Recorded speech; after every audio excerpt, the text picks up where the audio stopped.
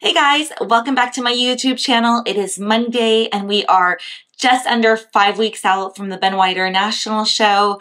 I am getting very excited, but I feel like this week things are going to start getting a little bit real and a little hard. As you know, if you watched my other prep files videos leading up into this point, calories have been pretty high, which means energy has been really good. The last two weekends, we made some adjustments where on Saturday we went to like no carbs. My total carbs for that day were 55 and all the carbs came from veggies or protein or fats.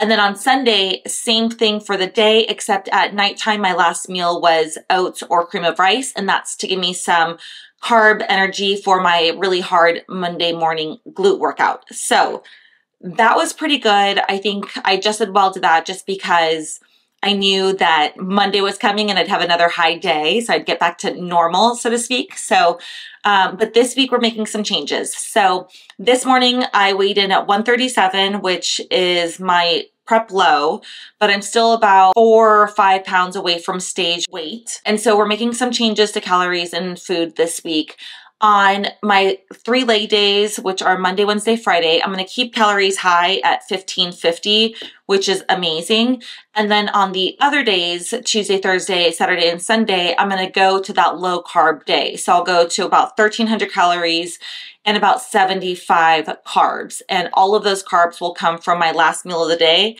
in way of a bowl of oats or cream of rice to prepare me for my leg day workout the following morning. So I'm excited for that. I know my body responds really well to low carb in terms of like weight, but unfortunately, I also know like it impacts my energy, it impacts my mood, all kinds of things. So so we'll see how everything goes from that. I expect to hopefully drop another couple pounds by the three week out mark. So let's hope that that happens. But as usual, this week I will take you through all the things, diet, food, prep stuff, workouts, check-ins, and all of that good stuff. So stay tuned and thank you so much for following along.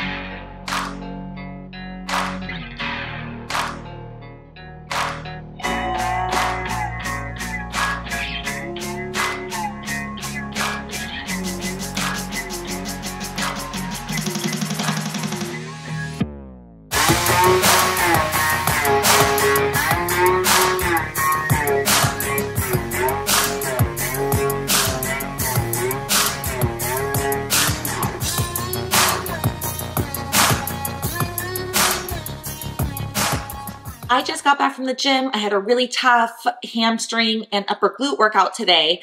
And typically I've been coming home and eating right away and I usually have um, something high carb like oats. But what I've been doing maybe the last like three or four workouts on lower body days is coming home and having some simple carbs. So simple carbs process really quickly and that glycogen can go straight to my muscles to start repairing and recovery. So what I've been eating is white rice. So I made some white rice in the Instapot the other day. So I have some left over. I'm just gonna heat up. Today we'll have about 175 grams of rice and I think this is working really well for me that I think my body is recovering well. I think that I, at least I feel like it's going to my muscle storage. And the only downfall with this that I've recognized is that because simple carbs process so quickly, I am actually more hungry, like a lot sooner than I would have been if and when I eat oats. But I am in it to win it. And so this is sort of like I don't want to say an experiment that Anna and I are trying because it's been proven in the bodybuilding world and the fitness world that eating simple carbs right after a workout is advantageous. But it is something new for my body that we're trying. And my body has been responding really well to the calories that we're at, which are still kind of high. I'm at 1550 still on leg days. So Monday, Wednesday, Friday. And my body's just really responding well to that. So we're five weeks out and this is something that I think we're going to keep going and trying until my carbs, you know, get lower and lower and lower because then there will not be a lot of room for white rice. So I'm going to heat this up and I'm going to show you guys like what I do to kind of spice it up. So while the rice is being warmed up in the microwave, I am actually going to put together some PB Fit, which I will then mix into the rice, which I know probably sounds really weird and or gross, but if you're a competitor, you get creative because you have to. So I wanted to spice up some white rice with a little bit of protein, something that is still plant-based because I think normally people would mix egg whites in it, but this will add some flavor, a little bit of punch. And I actually haven't tried it yet. I normally put protein powder in here. So this will be the first time I'm trying PB Fit, but I have a good feeling about it. Okay, so I'm gonna do 20 grams of PB Fit. Mix this with a little bit of water. What I like about PB Fit is that, well, I think it tastes good. I think it has good flavor and you can make it as like thick or watery as you want. So it could be put on like a rice cake or piece of bread if you're eating bread, or it could be a little bit creamier to like spread easily on top of something else like rice that will be easy to mix in. So I'm actually gonna make this a little bit more watery today. So I don't know. Like I said, this is kind of an experiment to see if it will mix better throughout the rice. Okay, so that is done. My rice is done heating up and I'm just gonna pour this in here. And then before I mix it together, I'm actually gonna add some stevia. This is just like powdered stevia from Trader Joe's to sweeten it up a little bit. And then of course, I am going to put cinnamon in here. Cinnamon is the best. I eat so much cinnamon and I know I talk about this in my other videos and sometimes I think I'm gonna get cinnamon poisoning because I eat so much cinnamon, but it's really good for like inflammation and other things. And then I'm gonna stir this all together. The thing about this meal is that it's like very high carb. I think it's like 62 carbs or something. I'll put the macros up, but it is ultimately like not that much, you know? So it's high carb, a lot of calories, and it doesn't fill me up that much. But again, I'm doing whatever it takes for the greater good of my muscle building. So I'm gonna add in 50 grams of banana. This is also adding some carbs, so that 62 or whatever this meal is. But I'll just add in some thin slices of banana, this will actually help fill me up a little bit more. Although I do think bananas are simple carbs, but I feel like whenever I add banana to oats or cream of rice, it's like pretty filling for me. Well, not filling, you know, but like I can tell it has some substance. Okay, then I'll mix that all together, although the bananas really won't mix very well. It's very thick, so when or if I do this again with PB Fit, like I do with my protein powder, I'll probably make it a little bit more watery, but let's see how it tastes.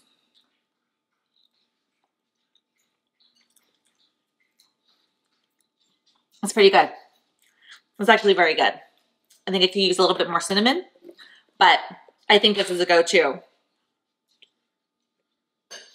I like PB Fit because it's just a little bit less chalky or powdery than a protein powder. It tastes a little bit more natural. Anyway, this is my snack or my lunch or whatever you want to call it, my second meal of the day. My next meal will probably be, well, less carbs because I don't have that many carbs to work with during the day, but something a little more high in protein and fat just to kind of hold me over for a little while. But this is good. I recommend 10 out of 10. Just about to start practicing some posing. I just got back from the gym and I'm a couple meals in and some coffee and water. So ideally I like to practice posing fasted, but to be honest, like posing does not fall like high up on my priority list, even though it should. So getting it in whenever I can has become just my norm. And posing is not my favorite thing to do. And every show that I've done, my posing has improved and I've never gotten feedback that like my posing needs to be better. But I know like if I want to do well, if I want to separate myself from the competition at an, on a national level, especially on a pro level, like I need to nail my posing, not just the routine, but being able to like nail each pose and transition that's going to highlight my strengths and hide my weaknesses as best as possible. So I've been trying to pose for like 15 minutes every day now, sometimes more, sometimes less, depending on my energy or how much time I have available in the day. And I think it helps. I think more than anything, like I spend so much time working from home and at the gym that like I don't wear heels as often as I used to. So just because of that, like just getting practice wearing heels is probably the biggest benefit that I'm gaining so far. And also like the stamina of posing, like holding my twists, making sure that I have the stamina to like suck my stomach in for an extended period of time on stage, especially while they're doing comparisons. So I really try to go slow and methodical and run through the routine like 20 times at least. So I'm gonna do some posing now. I'm gonna take some video of it so I can analyze it later. I don't take video of my posing like every day, but maybe like half the time or a little bit more than half the time I take video just to see like where I need to improve and where my weaknesses are. So I'm gonna do that now and send over to Anna so she can also give me some feedback. So I set my tripod like kind of lower so I can get the similar angle to where the judges will be looking. And I don't have the best lighting in my house, so I just have like this stretch between my dining room and my kitchen where I have some room to pose that's on hardwood floor. So it's not the best lighting. So I don't really take this for like check-ins or to like look at my definition, conditioning, all that stuff. Those are done in semi better lighting, but not even great still um, in my gym in my house. So this is just really for routine for the technique of posing and to evaluate myself in that sense.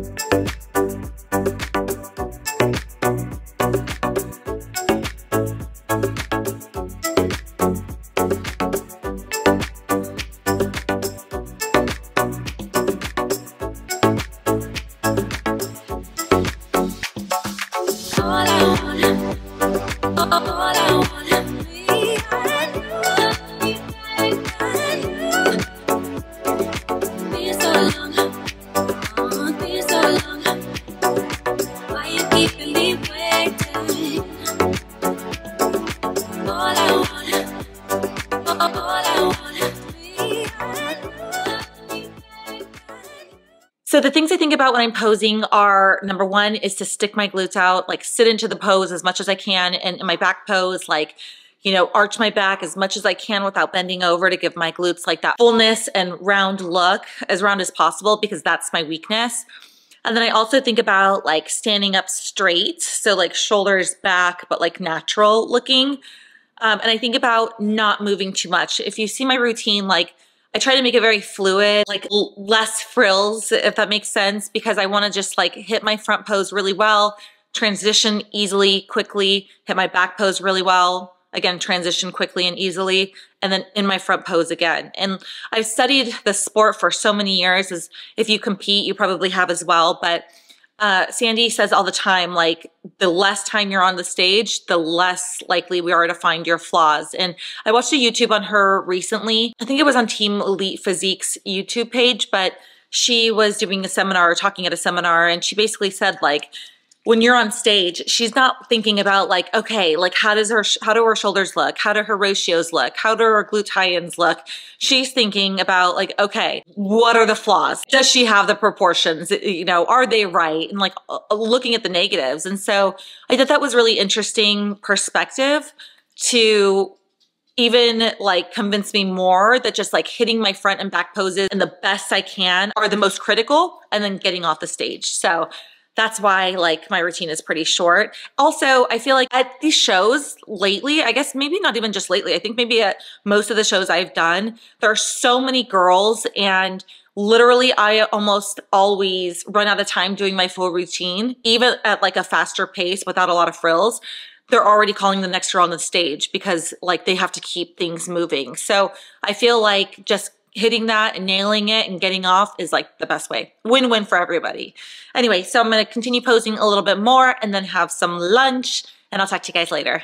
Just got out of the shower and it's 6.15 and I'm starving only to realize that I don't have any of the food I'm gonna have for dinner prepped yet. So I need to start from scratch. And I mentioned in my last week video that I love making potatoes and having that as my carb. I feel like you get a lot more volume than rice or like quinoa in potatoes and they are good in potassium and like other vitamins and minerals. There are a lot of things that you can do with potatoes. I am going to air fry them tonight. So that's what I'm going to show you. But really you can like boil these and make a really healthy mashed potato with like salt, pepper, a little bit of almond milk, a little bit of Greek yogurt or non-dairy yogurt.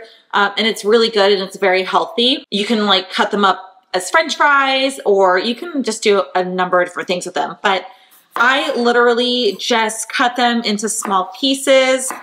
I tend to like small pieces. I think just because it goes a little bit farther, it, it gives the illusion that it does. And also because they cook faster.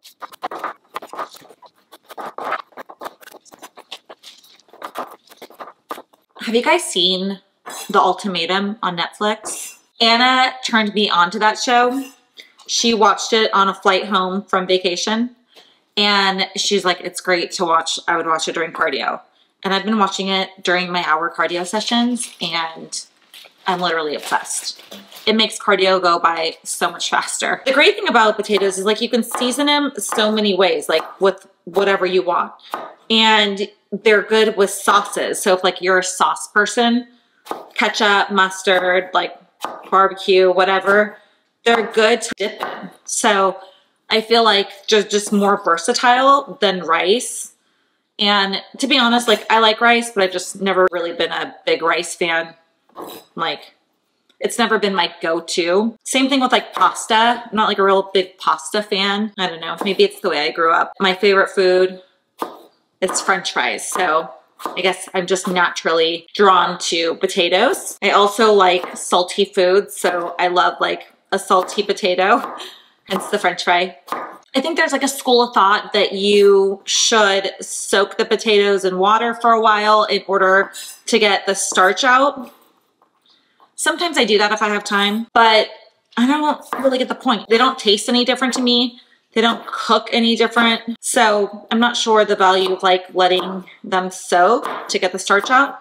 But if you know why that's advantageous, leave it in the comments. So this is my last potato, which that went fairly fast to cut them, but still have to cook them. And in my air fryer, they probably take 45 minutes. This is the problem with not having them done and I'm hungry. So like during that 45 minutes, I'm gonna wanna snack on something. I'm not going to, but I'm gonna want to. So that's why I like cooking a whole big batch so you can just pull from it like for four nights of the week and it's gonna be amazing. And the reason I cook for 45 minutes is because I just like them extra cooked and extra crunchy.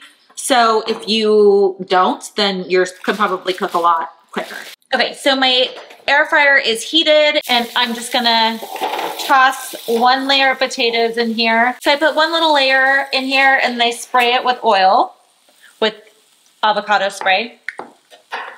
And then I use everything but the bagel seasoning, which I love. I literally use this on like everything. And then a layer of salt. And I salt pretty heavily. I am like into salt. I love salt. I love salty food and I sweat a lot. So I feel like it's good for me. It definitely helps replenish me. And I don't ever or rarely eat processed food. So like the salt I put on my food is really the only salt I get. So I'll mix that around and then spray it with another layer and then mix that around. Now they're ready to cook.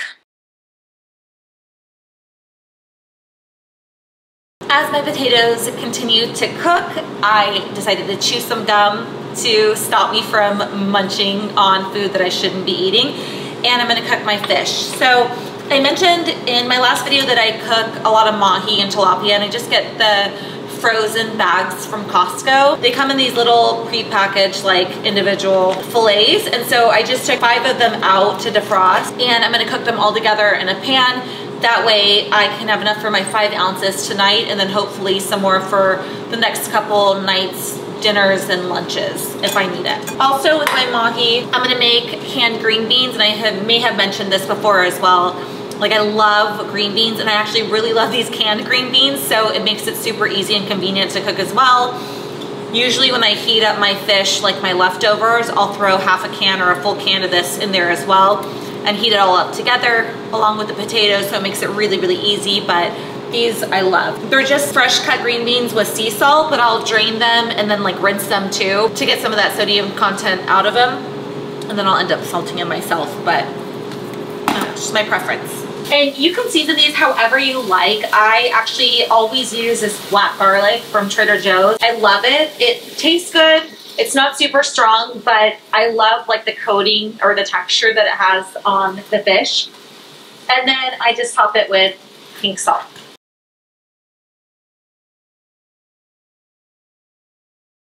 Finally, dinner is done. It's 7.15, so that took all about an hour. I am starving. I don't like sauces very much, but you can easily top this with like sugar-free barbecue sauce or lemon pepper sauce or teriyaki or something. I love to just dip it in mustard.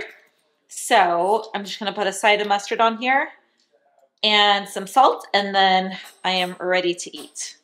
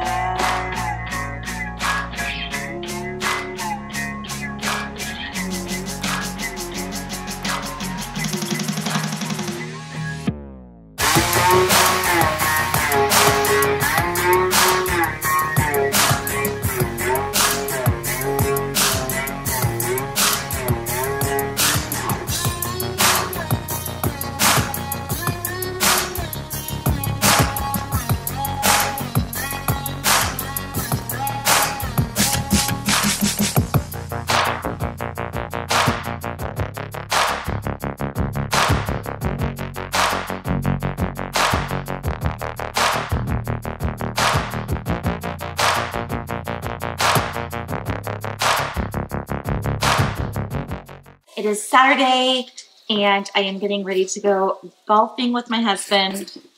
Not because I love it, but because I love him and I compromise in a marriage. But it is about a five hour round where we play and we walk it. So I actually love it for active recovery days because I burn like a thousand calories and get in like 12,000 steps. But I'm just preparing a protein shake to take with me because it is a five hour round. Like I shouldn't be eating a meal during that time. So I will take a protein shake to kind of get me through. I also bring like an iced coffee to help fill me up a little bit and to give me some energy. It's enough to kind of get me through dinner. And I'm so focused on the game that it's like, I don't tend to get too hungry, but I just want to make sure like I'm keeping consistent calories in and enough protein. And one of the things I want to mention that's like sort of different this prep than all my other preps is I used to be really super rigid about not eating at restaurants or if I'm going out to a restaurant, bringing my own Tupperware of food and this time I'm really just trying to embrace like a more easygoing structure. So we're going to dinner right after. There's like a really nice restaurant at the golf course that we love to eat at, beautiful ocean views. Our friends are meeting us. And instead of bringing my own food and like carrying it in my golf bag or leaving it in the car and then grabbing it, I'm I looked at the menu ahead of time. So I know there are like some healthy options for me to get. And I've already added those in my macros for the day so I can eat out and like feel a sense of freedom without having to manage like cooking my food beforehand and bringing it with me and like dealing with all that. So just like one thing I'm trying to embrace this time so I can feel like I'm living a normal life or like at least a good balance, which I hate that word, um, but a good balance between prep and like normal life. Just wanted to share that with you guys. So talk to you later. Just got back from the gym. I had a really great lower body workout, a glute workout. I feel like my energy has dipped a lot lately, but today I took some pre-workout. I was just like ready to hit it harder today. So very proud of myself. And now I am starving and I am having my post-workout meal, which is rice. Last time I showed having rice with PB Fit, which has been great, but I felt like that was keeping me still really hungry afterwards. And so I have since like just started pairing it with some fish and if I have some fats, like a little bit of avocado. And that has been keeping me fuller for longer. And I think it's a good thing that like my metabolism is obviously responding well to the meal since I'm hungry. So I think that's the a good thing about it. But also like I hate being so hungry, especially as my calories are getting lower. I want to feel fuller for longer. So I'm having 200 grams of rice today, which the majority of my carbs for the day are right now post-workout. And then also my last meal of the day, I will have some oats or I think cream of rice, one, one or the other, in order to help fuel me for tomorrow's workout, which is upper body shoulders and also my low carb day. So I'm going to hopefully carry some of the energy from my carbs uh, tonight in my last meal over to my workout tomorrow. So I'm having 200 grams of rice and four and a half ounces of mahi. And I have my pan heating now and I'm literally just to throw it all in there together and make like a make like a little hash, like a little mix. Again, like I don't like to microwave my food very often for whatever reason. I just feel like when I reheat it in a frying pan with just like a little bit of spray oil, I don't know, it just feels like the texture is better and it feels more like a better home cooked meal than when I heat it up in the microwave. So while that is heating up, I'm gonna cut some onions. Of course, you guys know me, I love some scallions. And I feel like what kind of makes this meal good is like just topping it with some onions. And then because I'm still four weeks out right now, I will put like a little bit of ponzu sauce. I love ponzu, although it has sugar in it. So I just use it like very, like a teaspoon of it to give it some taste and just some salt and pepper. And then that's typically it. Besides my energy taking a dip a little bit, I've been feeling a little like cranky. And I thought that was because just low calories and a change in my diet. And so my body is just adjusting to that. But it occurred to me this morning that I also think I'm starting to feel a little anxiety about the show subconsciously. And I feel like maybe a little bit of that anxiety is causing some like stress, some crankiness in me. And I guess that's pretty normal, but I think a little bit of stress is always to be expected going into a show because you work so hard for it. But I think there's a little bit extra stress for me this time in that it's a national show uh, it's an all natural show, and I don't really like know what that looks like or know what the competition looks like. And I don't know any of the judges. I don't even know who the judges are. It's like in a city I've never been to on the East Coast. And so there's just a lot of unknowns and a lot of variables. That paired with the fact that like I want my pro card so badly and I've been working so hard for it, I think just, you know, makes me feel like a lot of different feelings, but I like that I acknowledge it and I put it on the table. I think then that way I can sort of like work through some of these things in my head and hopefully like pump myself up, you know? But ultimately, I'm doing everything I can. So I just have to tell myself like there's nothing more I can physically do to prepare myself to show up my best and then it will be out of my hands, right? And I think that no matter what, I will be proud of myself. But of course, I really, really, really want that pro card, and I really just want to bring a package to stage that's undeniable. And I remind myself that I did really well at the Tahoe show, despite being a natural competitor up against some competitors who are maybe not natural. So I tell myself that in my head, like if I can be competitive there, then I can be competitive at a natural show. But the national stage is just a different level of competition. Um, I've only done one and it was last year and the level of competitors that show up is pretty top notch. And so you just, you never know. Okay, so my food is ready and I just like mash up the fish in the pan and mix it in with the rice and just like that a little bit better and then top it with some onions. It's just really good for some flavor. Actually cut too many onions, but that's okay. And even though this seems like a full plate of food and 200 grams of rice may seem like a lot, and it typically is, um, still, it's just not enough. I'm so hungry. Like my metabolism is firing on all cylinders. So I'm starving. Um, I love ponzu sauce. Like I love a tart like citrusy flavor. So I prefer ponzu over like a soy sauce or coconut aminos. But I just do like a quick drizzle for flavor.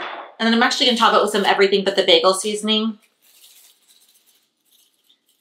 And actually, I forgot one thing. I forgot that I also like to top it, of course, with these chopped onions. That gives it like a little bit of a crunch and a little bit of a flavor. So that's it. I'm going to eat. I'm starving and I'll talk to you guys later.